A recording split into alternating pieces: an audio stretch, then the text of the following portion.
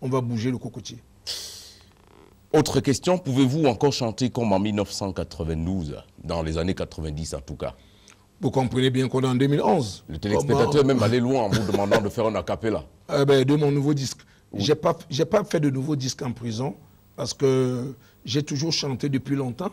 Et s'il veut qu'il écoute des chansons de la période de Mbanga d'il y a plusieurs années, il comprendra que toutes ces chansons sont actuelles. Qui vous dira qu'aujourd'hui, les enfants qui sont dans la rue ne disent pas que Yuan Dame Yumi Baoui, Yuan Soule Yumi Baoui, Yuan Nantu Yumi Baoui. Pourtant de choses. Pourquoi n'avez-vous pas, fait de, de, disque en prison? Ben... les, conditions de détention n'étaient pas propices à, à la réflexion? Non, ça aurait été très facile. Ça aurait été très facile de faire un disque en prison. Mais mieux, est-ce que c'est un indicateur de, ce que vous quittez progressivement la chanson L'histoire de la prison, l'histoire de ma vie ne peut pas tenir dans un single, dans une chanson de 5 à 10 minutes. Mais parce que je voudrais, je voudrais m'exprimer longuement sur le sujet, j'ai écrit un livre. Justement, on allait en parler. C'est quoi le message que porte cet ouvrage? Alors, cet ouvrage est intitulé Cabale politico-judiciaire ou la mort programmée d'un combattant de la liberté. Il sera, euh, il sera euh, édité par, par qui? Je suis toujours à l'attente d'un éditeur. Plusieurs frappent déjà à la porte, mais j'attends de voir parce qu'il faudrait que la distribution, surtout elle, euh, soit très. Le, manuscrit, le manuscrit est, il est fini, il est bouclé. Il est fini, il est bouclé. Il est bouclé. Autre question, quel genre de relation avez-vous eu ou bien avez-vous, avec vos co-détenus, vous, vous avez déjà presque répondu à cette question, quel genre de relation avez-vous eu avec vous? Ben, Il faut dire que, d'ailleurs, ils sont tous là en train, je sais que tous sont devant la télé maintenant pour dire notre ambassadeur est en train de parler. Nous, on a eu de très, très, très bonnes relations. Vous savez, je n'ai jamais dormi chez moi. Quand j'étais un homme libre, je n'ai jamais dormi chez moi pendant deux semaines. Il faut que j'aille travailler et ce n'est pas en Banga que ça s'est passé mais j'ai habité, j'ai cohabité avec ces personnes pendant trois ans. Jour et nuit, jour et nuit pendant trois ans. Vraiment, ça fait des liens, ça fait des atomes crochus. Et puis, euh, voilà, nous sommes restés. Moi, je pense que c'est une partie de moi que j'ai laissée en prison. Autre question, je crois que c'était la dernière, pourquoi cet acharnement autour de l'engagement politique pour ce qui vous concerne? Qu'est-ce qui vous motive? Qu'est-ce qui motive votre engagement? On ne va pas dire politique, mais votre engagement militant autour des causes parfois perdues Il y a des gens comme moi. Ils ont horreur des inégalités. Il y a des gens comme ça. Il y a, moi, peut-être, je chante et ça se sait, mais il y a beaucoup de personnes dans les sociétés civiles. Quand vous voyez M.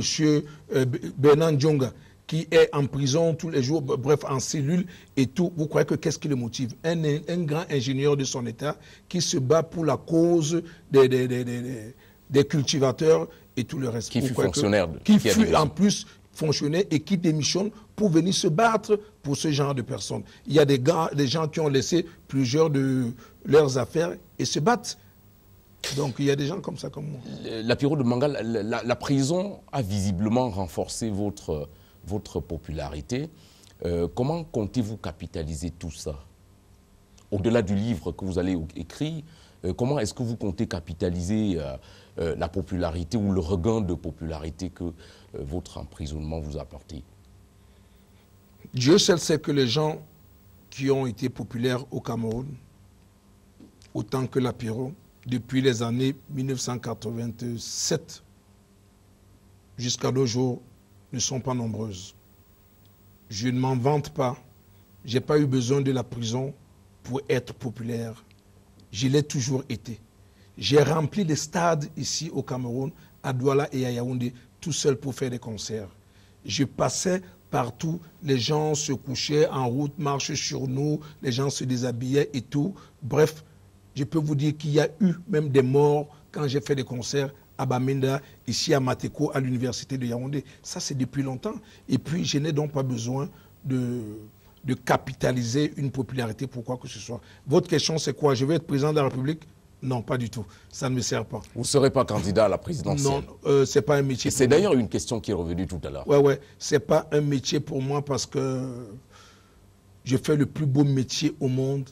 Vous savez, je ne connais pas beaucoup de politiciens à qui on va payer un billet d'avion, loger à l'hôtel et donner un cachet et que les gens payent pour venir le voir. Vous connaissez ce politicien-là Pour qui les gens vont payer les, droits d'entrée pour aller le voir? On le fait pour la période de Mbanga. C'est énorme. C'est énorme. Je ne vais pas descendre. C'est trop bas ça. vous avez parlé des années 1987. Euh, Je voudrais qu'on évoque une parenthèse de votre vie, euh, celle des années 90.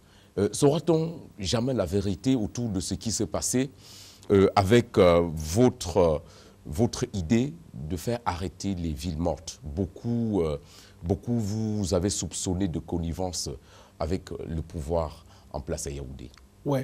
Euh, beaucoup ne m'ont pas soupçonné de connivence avec le pouvoir, mais seulement une machine s'est mise en place pour détruire la popularité de la période de Mbanga pour la bonne et simple raison que je ne voulais pas être l'échelle que les politiciens devraient utiliser. Et dès qu'ils sont arrivés au sommet, ils repoussent chacun. Qui connaissait tous ces politiciens au Cameroun en 90, en 91 Je continue à dire que l'homme le plus populaire du Cameroun, à l'époque, était Lapiro de Mbanga. Je vais vous dire, le 10 juin, quand les gens partent de partout au Cameroun, pour venir au procès de Célestin Monga. Le 10 juin 1991. 11 ou 12, c'est loin. C'est l'apiro de Mbanga qui fait circuler les tracts où j'avais écrit en pidgin et les Camerounais sont descendus. Et c'est ainsi que Pius Ndiawe perd son âme, Célestin Monga et le messager n'ont pas été condamnés parce que l'apiro de Mbanga était derrière. Et c'est à cette occasion que j'ai présenté aux populations John Fundi que personne ne connaissait. Parce que quand je suis sorti, un hélicoptère était parti de Yaoundé. À l'époque, c'est M. Moudjiki qui était ministre de la Justice.